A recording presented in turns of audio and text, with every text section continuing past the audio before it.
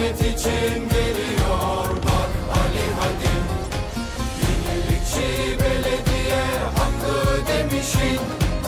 En iyisi olacak plan projenin. İşi memur emekli yaşlısı